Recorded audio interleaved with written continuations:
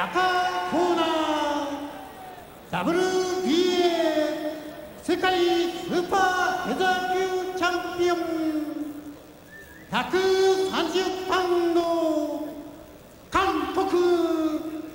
チェ・ヨンスジュニアライト級からスーパーフェザー級。名前は変わりました。しかし8度目の防衛戦チャンピオンのチェ・ヨンス。挑戦者 WBA 世界スーパーレーザー級2位130パウンド横浜光事務所属。畠山挫折を知る者だけが持つ強靭な精神力。それを武器にしたい。世界スーパーフェザー級第2位畠山貴則はこう言っています。さあ大一番が始まります。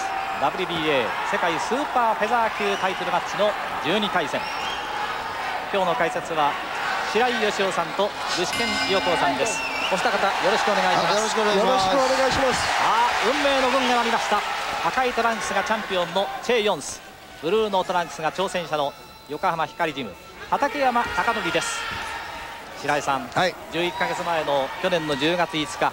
本当にわずかの差のドローでしたね。そうですね、まあ、本当にねいい試合だったしね、もうあの最後の2ラウンドがね、はい、欲しかったんですよね。そうですね、まあ、結果は世界戦という大きな舞台を経験したことのない弱点が最後の最後に具志堅さん出てしまったという感じの終盤でしたかね、そうですね。あと一歩でしたね、えー、オープニングヒットはチャレンジャーの左のフック。しかしこれは軽くダッキングでかわしております。チャンピオンのチェ・ヨンスです。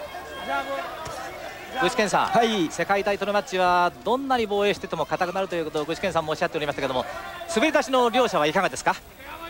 やっぱり硬いですね。硬いですか？はい、はい、畠山は特に硬いかなって感じしますね。右のフックの打ち合いでした白井さん両者ともパンチ力があるだけに目は離せませんね、ね、あの畠山がねあの左のジャブそれとあのその返しのね、ええ、あの左のフックねなかなかね鋭いですよ。はい。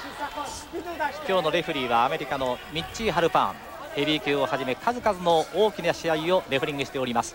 ジャッジは3人パナマのドドルフォ・マルドナルドタイのフィニット・ポライアッサそしてオランダのヘンク・メイジャーズです。3人が採点をします。レフリーは採点はしませんコリアン・フェニックス。韓国のフィッシュ王と呼ばれておりますが驚異的なスタミナを誇ります。チャンピオンのチェ・ヨンスです。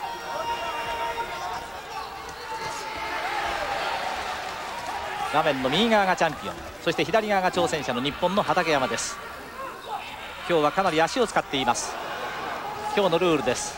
3ナックダウン制スタンディングダウンは取りません。採点は10ポイントのマストシステム。なるべく差をつけるように奨励されています。グローブは前回と同じメキシコ製の8オンス。畠山の希望で色はブルーです。偶然のバッティングによりまして試合続行不可能な場合は4ラウンドまではドロー。それ以降は採点によります。まずね畑山はね軽くねフットワークを使いながらですね、ええ、あの左をよくリードしてね、はい、それから右左とワンツースリーを打つといいんですね、はい、スピードはね畑山のあるような気がしますね今日のそうですか、はい、チャンピオンがいきなり右のストレートしかしチャレンジャーの右のストレートを打ち返しました。具志堅さん、はい。緊迫感あふれる滑り出しですね。そうですね。まああの試合の展開は前回と一緒ですけどね、はい、やはり1ラウンドからエキサイトしてますね。右のストレートから左にフック。チャンピオンが右のストレート食います。すぐその後左にフックを返しています。おリングの中央激しい打ち合いです力の入ったすごい打ち合いが展開されております。ここで第1ラウンドが終了しました。ボディは力。の防衛が光りますそして実況担当は TBS の石川明でお伝えしております。さあ第1ラウンドはまずまずの滑り出し両選手。試合は第2ラウンドを迎えています。レフトアッパーから入りました。チャンピオンのチェ・ヨンス。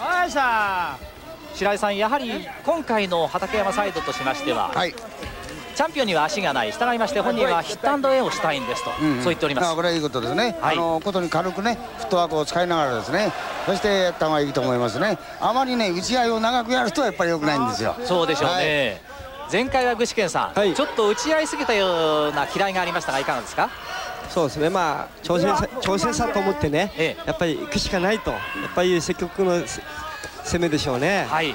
おライトアッパー。いいアッパー打ちましたね。畠山のライトアッパーがチンを捉えました。その後は左のボディーブロー。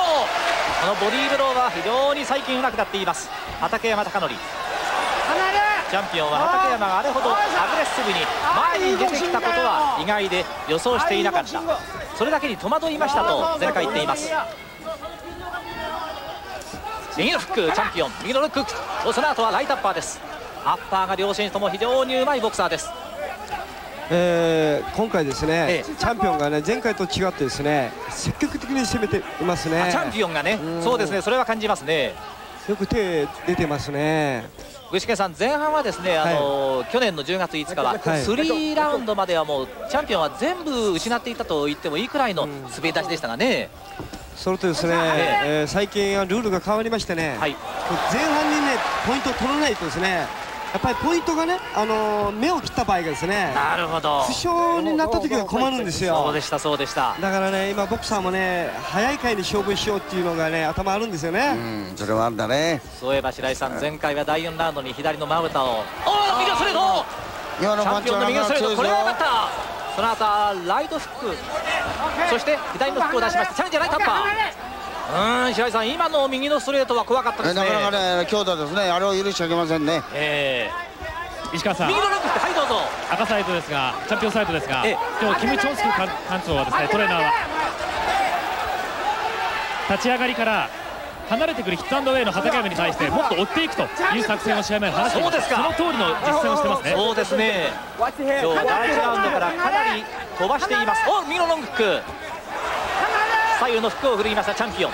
第1ラウンドからまるで勝負をかけているような感じがありましたけれどもこのラウンドはかなり激しく両者打ち合っています。そう今打ったね。左のストレート2回。左のストレート。あれが必要なんですよ。ジャブではありません。あれは完全に左のストレートでした。はい。ジャブだとねぐんぐん離れちゃうんですよね。なるほど。だからストレートでねストップさせなきゃダメですね。その後は右のボディーブロー左のフックこの切り返しは素晴らしいパンチでした。右のストレート挑戦者の右のストレートが顎を捉えました。具志堅さん、はい、いいパンチが入り出しましたね。これはね左が出てるからですよねジャブが。このラウンドわずかに差がついて17のナックアウト勝ち。KO 率はなんと 81%4 ラウンドまでのナックアウトがなんと14回もあります。畠山貴則をご紹介しました。左のロングフックはいどうぞ。チャレンジャーのこの畠山なんですが、はい、控室は非常に前回と違っていいですねリラックスムードだったんですね、はい、一つなんか突き抜けたようなそんな精神力を見せていました、はい、ただしですね片岡マネージャーによるといい緊張感の立ち上がりを見せているなという形でですね非常にその滑りだとした確信を持った立ち上がりになってますね。そうですね。いかにも世界戦らしい緊張感の中にもかなり動きがいいということがよく考えます今日のリポーターは TBS の竹方直樹アナウンサーと土井敏之アナウンサーです。赤いトランクス右側がチャンピオン。向こう側に回ろうというそして今サイドステップを切りましたのがチャレンジャーです。ブルーのトランクス。スパンコールの色鮮やかな左のフック。左のフックから入っていきました畠山に得意のパンチは畠山君一体何なんだろうと言いますとそばにおりました劉和竜トレーナーが。そうですね畠山の場合は試合によって違うんですよと。具志堅さんこう言うんですけどもね。やっぱりそれあるかもしれないですね。全てのパンチがいいという感じがします。チャレンジャーの畠山貴則。一方のチャンピオンの方はいきなり放つ右のストレート。さらにはボディーブロー。公開練習でもこれは隠せ隠せとトレーナーが言っていたんですがいいパンチが出ておりました。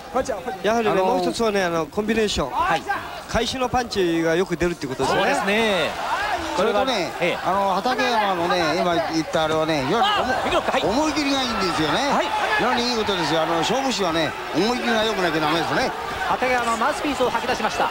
WBA ルールではマウスピースはレフリーの判断で拾うことになっておりましてまだ拾われておりません。さあマウスピースがない畠山打たれたくない。こういう時打たしたらまずいですよ。リングの中央で激しい打ち合いです。さあチャンピオンがそこを出てくる。左フックボディーブローライトアッパー。右フック左フック打った。すごいすごいすごい激しい打ち合いが展開されていますマウスピースがありません畠山がちょっと心配です。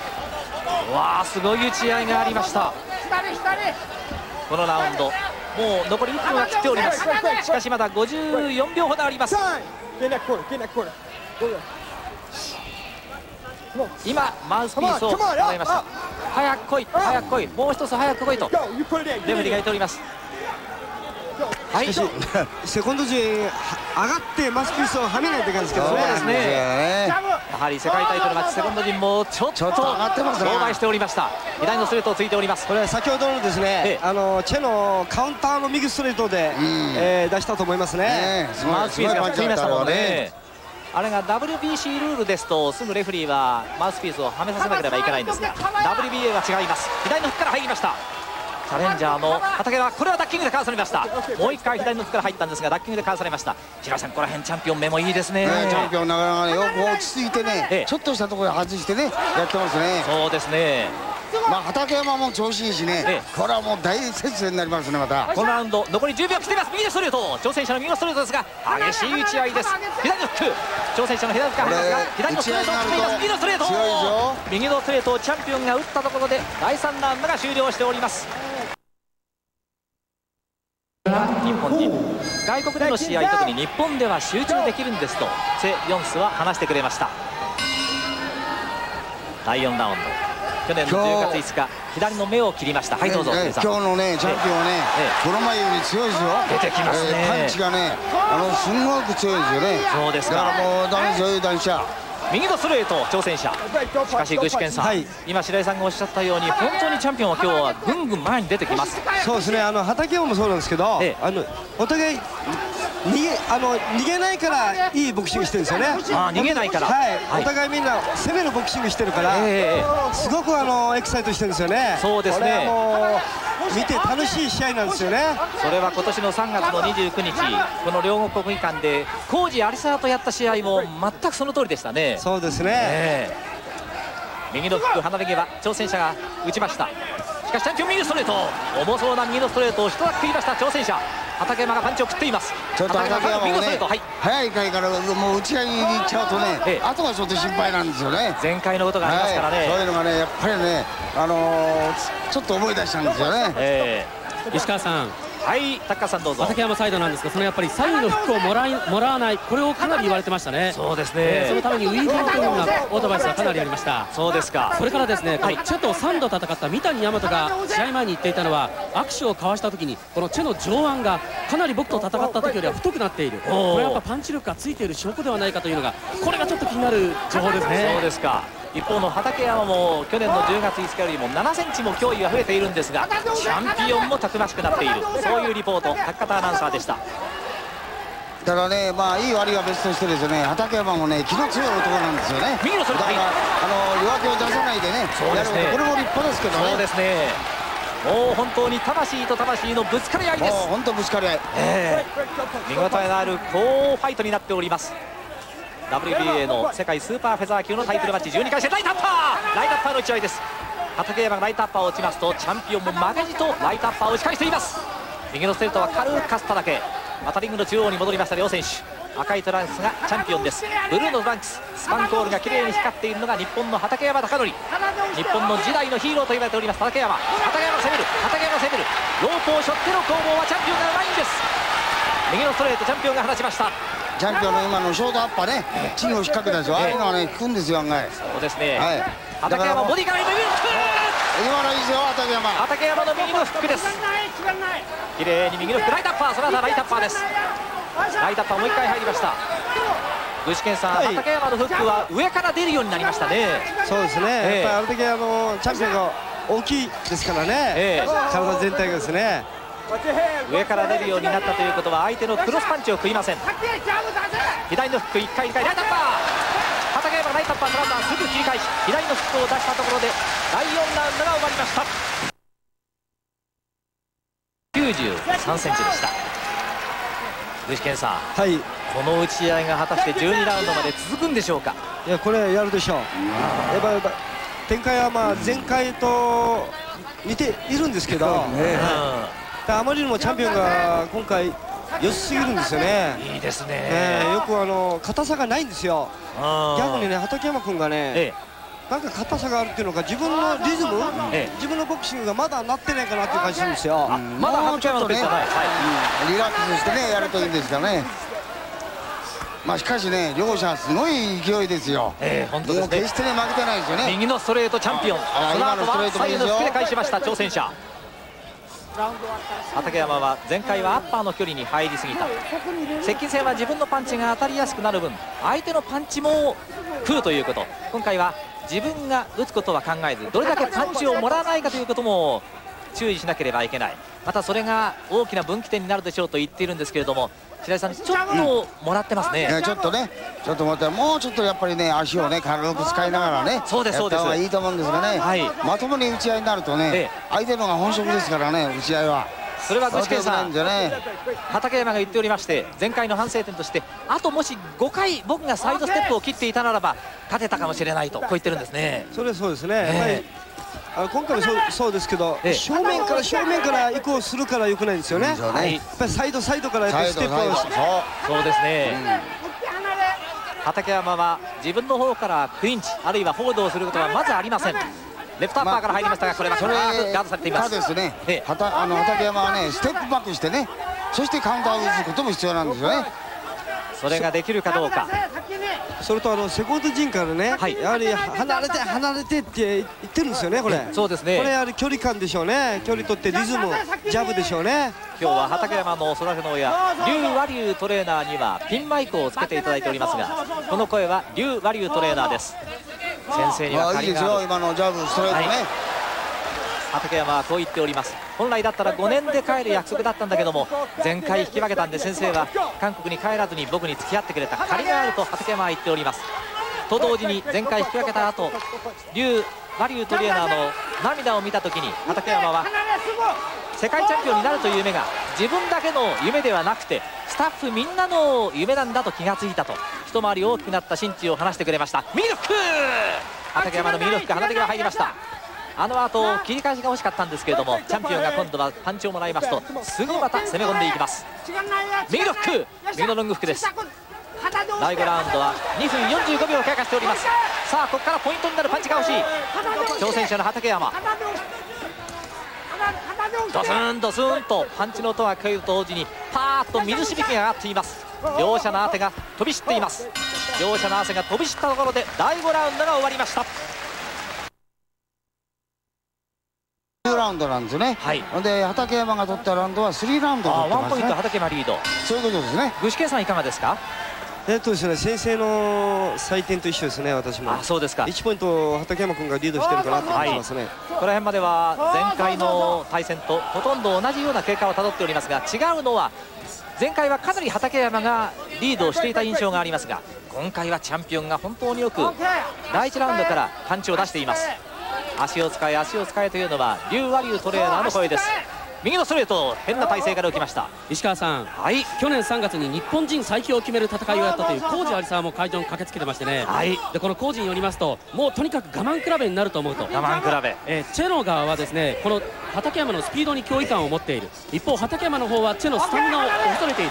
その不安感をどちらがどういうふうに払拭できるかそれだと思うと言ってました。はいリングのほとんど真ん中ショートレンジのフックが入りました挑戦者の畠山。足を使って左へ左へと回っておりますが具志堅さんこの距離はいいですね。そうですね。ジャブでね、リズム取って。左のフック挑戦者はい。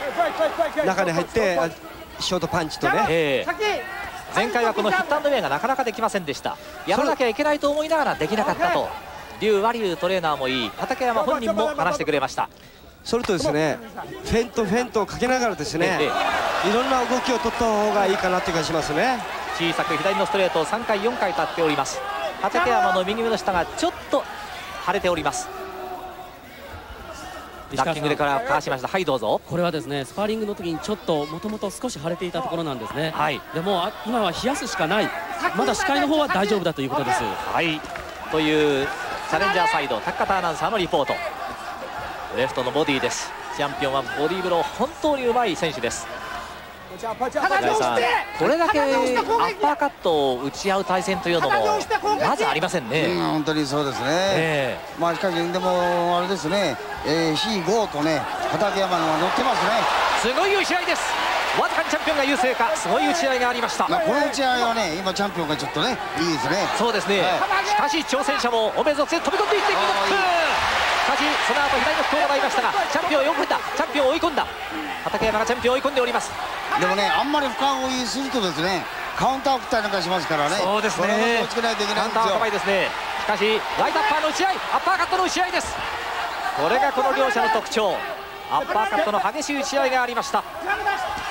ああすごい打ち合いですね。そうですね。ライトアッパー。しかしチャンピオンは左のストレートを返します。いい打ち合いになっております WBA の世界スーパーフェザー級タイトルマッチ。畠山足を使いながらね今打った左のストレートねカウンターするといいですね。残り10秒を切りました。あと8秒。右のフックサミが左のフック打ちました。左のフックが小さくチャンピオンの顎を捉えました。畠山左のフックそれは右の小さなフックが入ったところでこのラウンドが終わっております。終盤。激しい打ち合いになってますね。そうですね。あのチャンピオンのチェンがですね、えええー、今回は1ラウンドから出てきてるからそうじゃないですか。そうですね。それであの後半ですか、ええ、後半今度畠山がガンガン出ていけば判定で勝つ可能性も高いですね。そうですね。背がやっぱり動きが鈍った時にですね逆に反撃するか畠山がですね。前回は中盤以降特に7ラウンド以降はかなりポイントを許しておりました。畠山ですがお両足を揃えながらチャンピオンが打ちました、うん、右の外もう一回。おチャンピオンも打ってきましたよ。すごい気迫でチャンピオンが追ってまいります、はい無尽蔵のスタミナが驚異的。チャンピオンのチェヨンスですが左にダブルに持っていった。クラちゃん右フック挑戦者がやりした。ライトアッパーも入りました。すごい右のフックがクリーンヒットしました。お客さんが1万人以上超前のお客さんがどっと湧いております。両国の国技館です。いやー具志堅さん、はい。今のパンチはなかなか効果的だったと思うんですがどうでしょう？そうですねあのチェのですね、右のストレートショートですね、はい、それは畠山のフックですね。右のフックです。はいそれ良かったですね。良かったですね。花ネギは右のフックです。で先ほど打ったね畠山のワンツーからね思い切り左フックねこれも良かったですよ。練習でもこのコンビネーションボロをくどいほど練習しておりました畠山画面背中がチャンピオン。ブルーのトランクスが日本の挑戦者畠山です。ボディーブローしつこく打ってきます。この手のボディーブローは本当に痛かった。試合が終わって1週間痛みが取れなかった。世界のトップクラスのパンチの痛さを思いっきり味わいましたと畠山は話しております。具志堅さん、はい、このチャンピオンのパンチは痛いそうですよ。重いでしょうね、えー、ライトアッパー入りました。挑戦者の畠山ライトアッパーもう一回トラバー左のフックです挑戦者の畠山ライトアッパーから左のフック綺麗な切り返しです。いいですね。白井さんこのコンビネーションですね。畠山のねやるパンチいいですよ左のストレートからね、はい、あの右のアッパー左のフックと、はい、いいコーダしましたね。中盤の第7ラウンド。2分10秒を経過しております。左のストレート。はい。それとお互いパンチの数を出してるんですけどね、ええ、やはりチェもガードが硬いですね。前回は挑戦者の畠山が420発。一方チャンピオンが少なくて300発だったんですが今日は具志堅さんお互いに450発以上は最終ラウンドまでいったら出るかもしれませんね。そうですね。よくお互いパンチの数出てますね、えー、すごい世界戦です。パンチは本当に具志堅さんおっしゃるようによく出ています。ちょうど今10番ですからね6回いったらね、えー、6、7がね、えー。はい、ライダッパー入りました。挑戦者もう一回。その左からダッカリが返されましたボクサーにとりましてはこの終盤の7ラウンド8ラウンドあたり一番苦しいところです。右のストレートジャンプ入った。ら近くライトバーすごいすごいすごい打ち合いだ。すごい打ち合いが展開されております。WBA 世界スーパーフェザー級タイトルマッチ。ここで中盤の第7ラウンドが終了しております。えー、ちょうどいいところが当たったんですよね。あのテンプルですね。世界チャンピオンという高く険しい頂上に立つためには彼の倍の精神力が必要。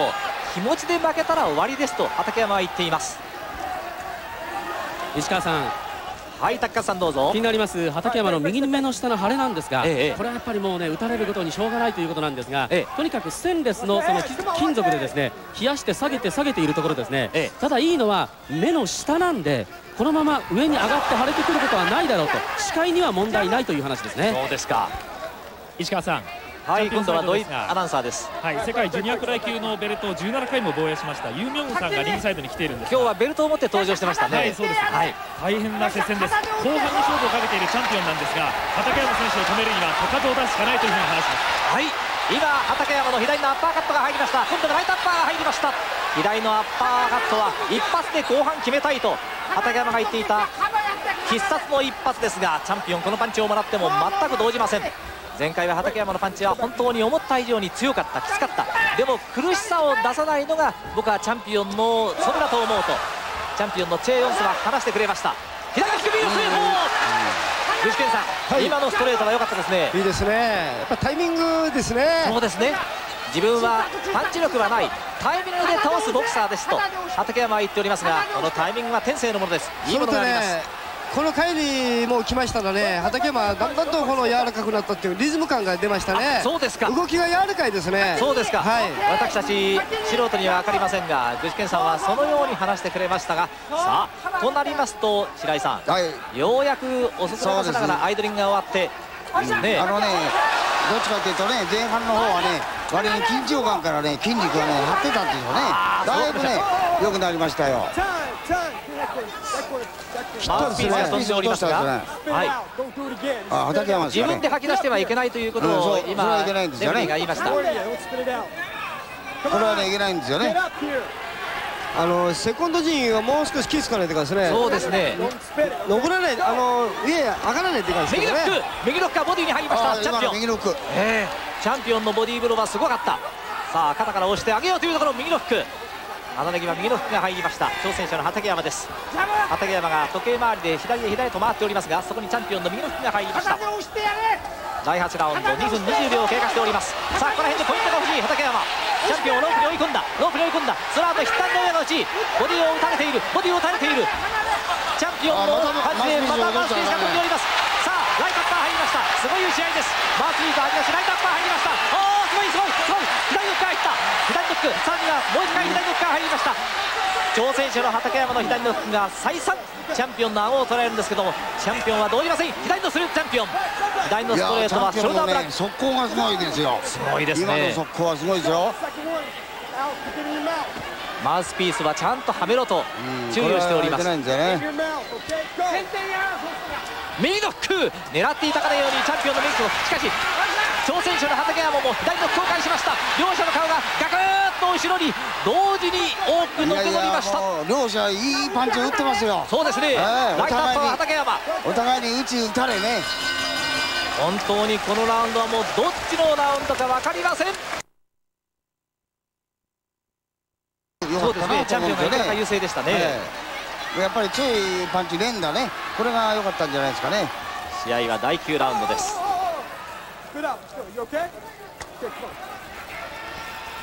まあこれからがねチャンピオンがね構成になってね強いんですよね終盤が、えー、そこにやっぱりあの畠山がスタミナを消耗するといけないですね。はい両者とも十分も練習量を積んでおります。チャンピオンが120ラウンドのスパーリング。挑戦者が110ラウンドのスパーリングを今回もこなしております。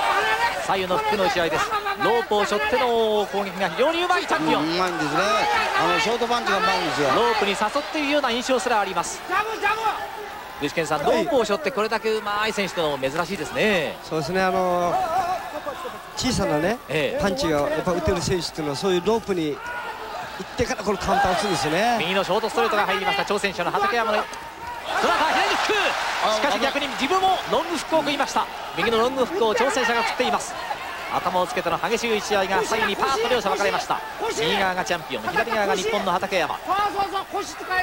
腰を使いながらと劉バリュートレーナーのアドバイスが飛んでいます。試合は第9ラウンドですレフトアッパーはチャンピオンです。ライトアッパー左のフック挑戦者。よく本当にパンチが出ます。打って離れろという劉バリュートレーナーのアドバイスです。右の生徒は脱剣でかわしております。何かこのラウンドあたりね前のラウンドあたりからね速攻がね右のストレートを食いました。すごいですよ。そうですね、はい、具志堅さん、今はいい右のストレートを食いましたが？そうですね。あのチャンピオンのチェンもですね。なんか勝負にも出てるような気がするんですよね。そんな感じですね、はい左のボディーブローしたたか差し込んでおります、まあ、ある意味ではねこの前の試合はちょっとね攻撃が遅かったんでね、ええ、早めて打ってきたんじゃないですかね、えー、しかしチャンピオンも本当にしたたかです。なかなかやっぱり根強いわチャンピオンね、えー、本当ですね。石川さんチャンピオンサイドの指示はレフトアッパーそして上下の内訳手数この3点絞られてますね。そうですか。この畠山あんまりねミスしちゃいけませんよ。ええスタミナ消耗しますからね、はい、ちょっと打たれてますねショートレンジの打ち合いです。これはチャンピオンの距離です。離れました。畠山が離れました。畠山言っています。彼は12ラウンド同じペースで同じ攻め方ができる。それは最大の強みで対戦するボクサーが一番嫌がることですと言っております。ただ言えることはもうチャンピオンには上がり目はなく僕はこの1年間で少しだけ伸びたと思います。そのようにチャレンジャーは言っているんですがチャンピオンもまた成長している。そんな感じです花木はライトアッパーから左のフック。さあ残りあと10秒です。第9ラウンド。まあチャンピオンの今のショートの連打が強かったですね。そうですね。強いパンチですよ。左のフック左のフック左のフック畠山の左のフック。で1番人の大観衆がどっと湧いたところで第9ラウンド終了です。チャンピオンのチェ・ヨンス。両者ともリミットいっぱいの130パウンド58.9キロのリングです。第10ラウンドに入っております。さあ101112残りはあと3ラウンドね。3ラウンド9分間です。この3ラウンドの勝負ですね。そうですね。ええ。ーもう本当に勝敗の奇数は全く分かりません。なんかこの前とちょっと似たようなねケースに、ね、なってるんですよ、ね、そうですね。畠山の右目の下が紫色に腫れ上がり始めています。あのー、畠山君もですね、ええ、気力の勝負とかね、え、そう言ってましたけどね最後は、はい、私はその通りだと思うんですよ。そうですね。この3ラウンドですね、もう逃げちゃいけないですね。そうですね。攻めるしかないと思います。そうですね。前回の12ラウンドはその中途半端な気持ちがいかなかったというような感じがありましたさあこのラウンドからの勝負だという具志堅さん。打ち合いだこれはね。さあ頑張ってもらいたい畠山。チャンピオンがしかし体ごとぶつけていきます。もう右のストレート。第9ラウンドは両者ともちょっと使おうというような感じがありましたけどもこのラウンド激しく打ち合っている挑戦者畠山の左のフック。ここからですね、えー、離れたらダメですね。もうひっついてですね。ショートのパンチを繰り出していった方がいいですね。最後の打ち合いに入るという具志堅さん。花火が左にのフック挑戦者の左のフックが入りました。チャンピオンははい。チャンピオンは左右のフックボディーブローでこれを返します。今回のチャンピオンは手数も非常に出ています。左フック畠山の左のフッククリーンヒット。綺麗に左のフックが入りました。挑戦者の畠山貴則です。さあ今度は左のボディーブローいつ出すんでしょうか。畠山の右の目の下。だいぶ腫れてまいりました。さあここでレフリーが畠山を大丈夫かということで様子を聞いております。大丈夫かということですね、はい、右右は右目ですね。そうですね。右の目の下がだいぶ腫れています。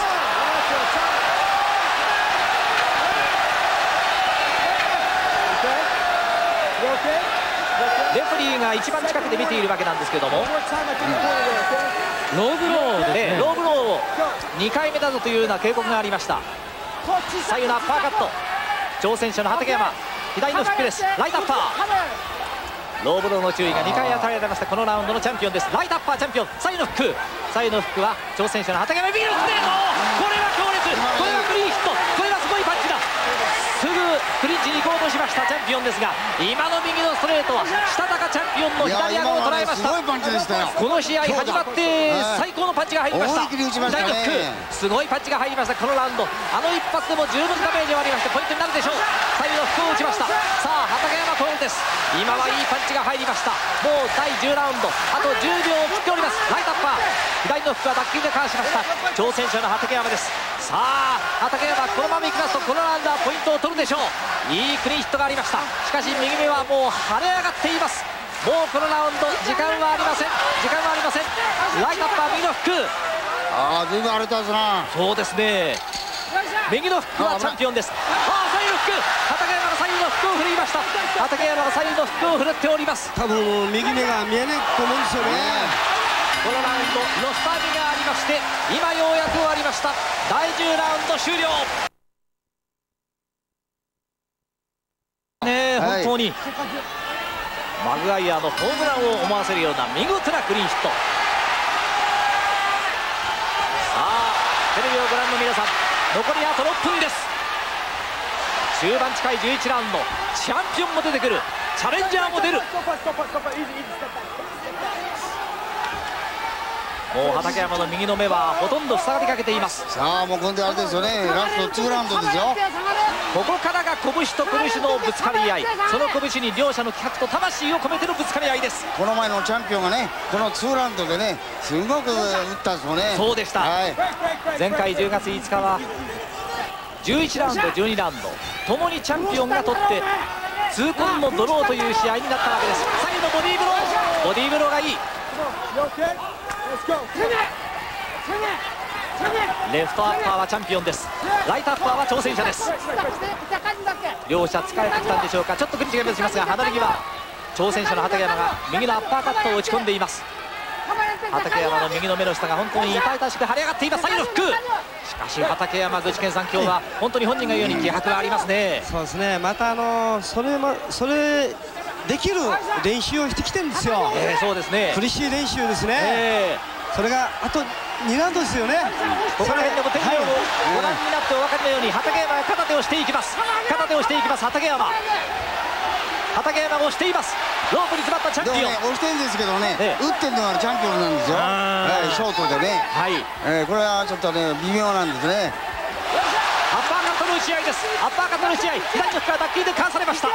畠山頑張れ。苦しいところですが畠山。この最終ラウンドそして11ラウンド。本当に勝負の分かれ目です。もう時間がないですよ。しかしねこの回最終ラウンド畠山頑張ればですね、うんチャンピオンになりますよ。ね。そうですね、はい、やっぱりこの畠山君のこのファイトは素晴らしい。さああと4分頑張れば世界のベルトも見えてきます畠山。最後の副チャンピオン。畠山はライトのアッパーです肩をつけたら激しい試合です。すごい打ち合い。すごい打ち合い。まさに投手と投手のぶつかり合い。気持ちと100のぶつかり合いです。壮烈な試合になりましたね。そうですね、うんグローブをつけております。バンデージがちょっと剥がれましてそれをレフリーが切るように。さあ戦闘再開です。ストレートを持っていきました。戦闘再開の後の右のストレートを持っていくところなどはチャンピオンが本当にしたたかです。この前の時もそうでした。チャンピオンはここら辺本当に老練。頭をつけての打ち合いです。左右のフックが空振り終わりました。挑戦者の畠山。右のストレートはこれはちょっと足りませんでした。ファーストステップでかわしております。挑戦者の畑山。ローブローローブローです。ローブローがありました。畑山本当に痛そうローブローがありました場内ブーイングです。ローブローですからもう少し休めというレフリーです。ローブローでチェンジ。ワンポイントの減点がありました。これは畠山にとっては非常に大きい非常に大きいそうですね畠山最後も引くチャンピオンのトリックを打ちますチャンピオンこの一本一の挽回を取り戻ったという場内大声援ものす。ごい声援です右のスレートチャンピオン。挑戦者は両足を揃えまして左右の服畠山頑張れ。畠山がすごい投じて2つを出しますゴンが聞こえませんでした。第11ラウンド終わりました。いよいよ決着の時。残り3分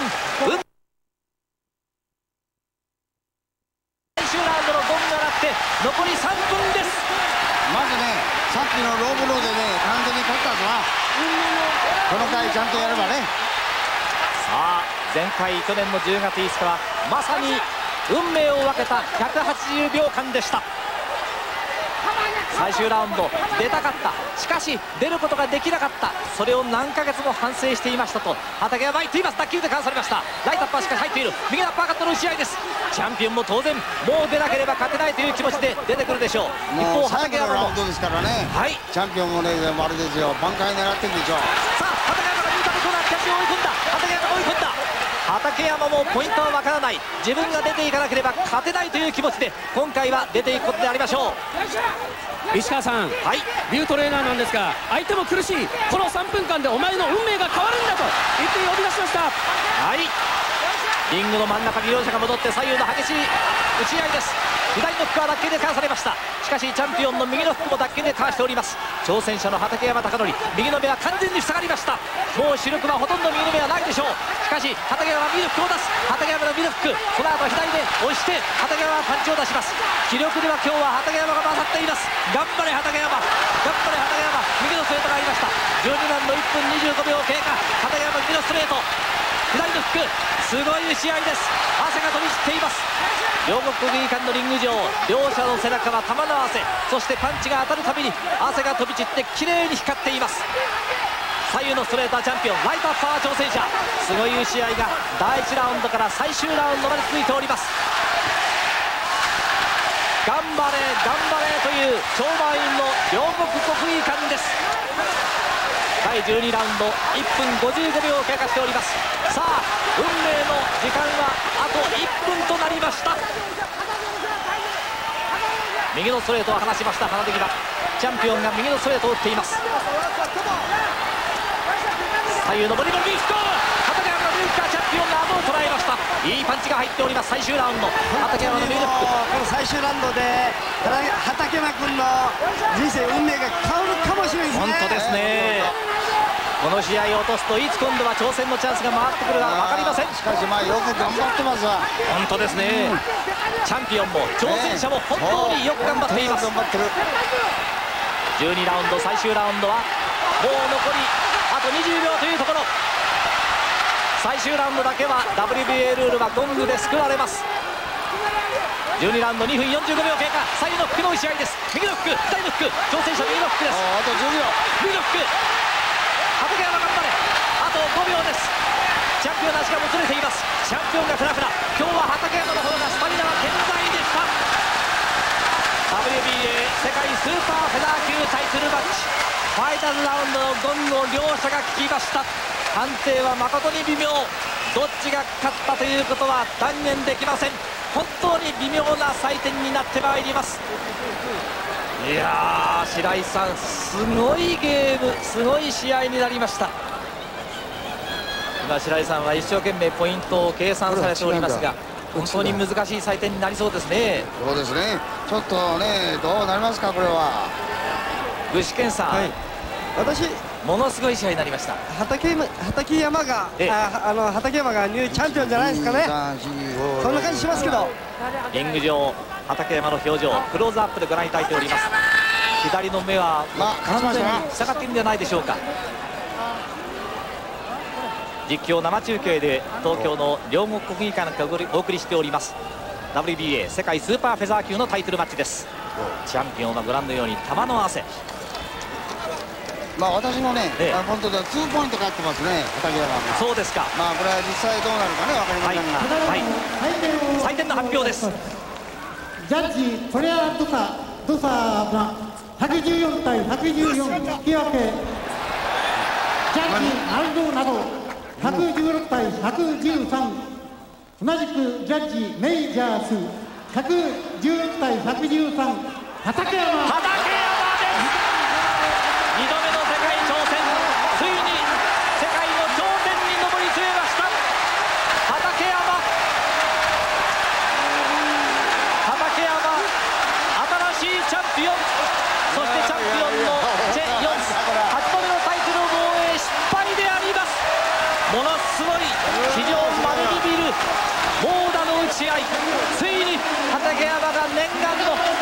悲願の世界のベルトを奪取しました。やったーという畠山。号泣ですめったに泣かない畠山がリング上号泣してその泣き声が放送席まで超えてまいります。お得泣きなんてもんじゃありません。ご覧のように多く口を開けての号泣です。具志堅さん、はい、白井さんと具志堅さんの祭典と同じように今回は新しいチャンピオンですね。本当にあの試合見てねエキサイティングしましたよね。非常にいい試合だったし、えー、このまでとね本当に車以上にね、えー、試合も良かったし、えー、素晴らしかったですね。今日のファンはねもう多くのファンファンがね本当に堪能したでしょう。そうですね、でしかも勝ったしね、改めて採点をお伝えしましょう。114対114がタイのプライ・アッサルそして116対113パナマとオランダのジャッジ2人です。うわーリュー・バリュートレーダーと抱き合って喜んでいます。本当に畠山がリュー・バリュートレーダーの評判を聞きつけリュー・バリュートレーナーの門を叩きました。そして数多い練習生の中からこの子だけは絶対ものになるとリュー・バリュートレーナーはこの畠山貴則を育て上げました。もし今日負ければ私の指導が悪いということ私は国に帰りますと言っておりましたビューバリュートレーナー。チャンピオンだったチェ・ヨンスが本当にこれがスポーツマンです。畠山のところに祝福に現れてくれました。白井さん、まあ、いつもの光景ではありますが、え。ー、そして見事に新チャンピオンになりました畠山貴則選手です。おめでとうございます。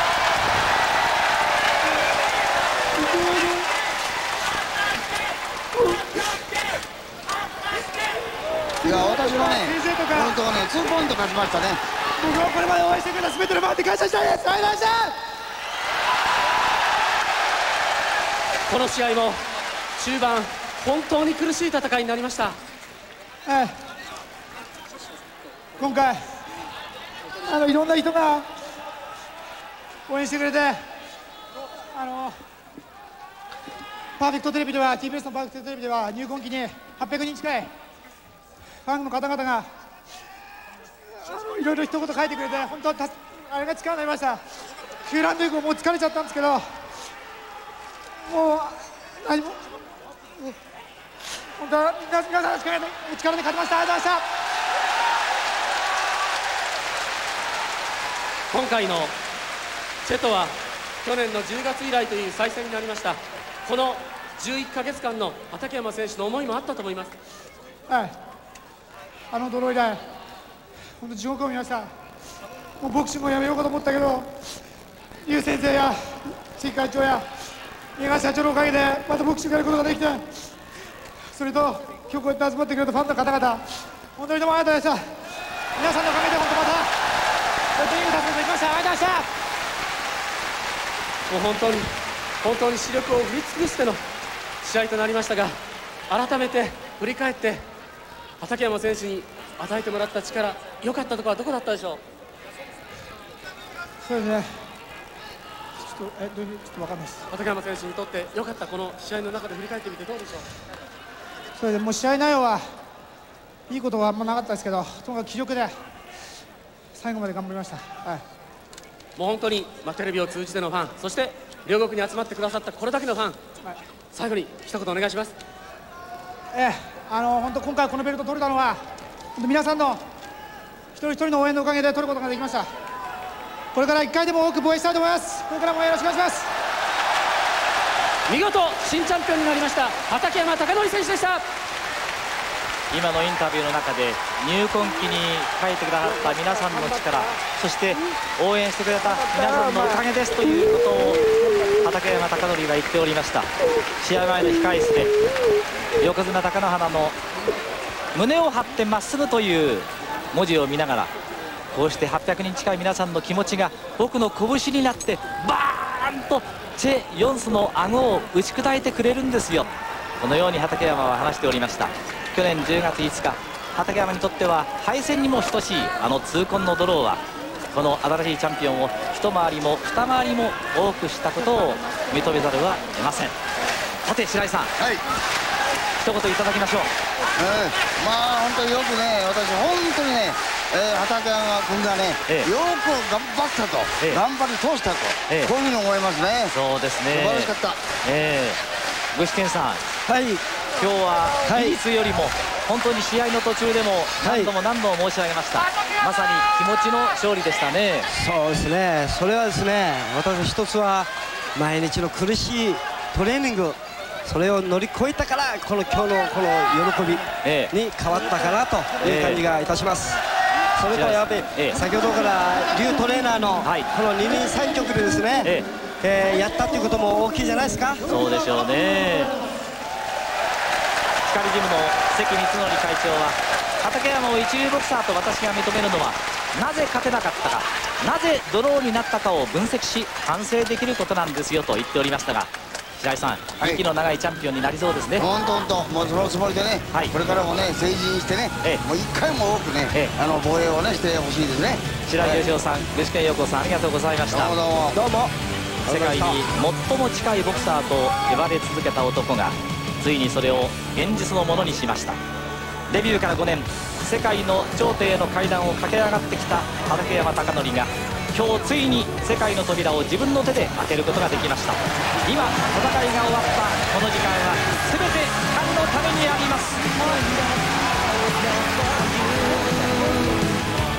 この番組はもっと日産になる。日産自動車。長谷園。ライオンとご覧のスポンサーの提供でお送りしました。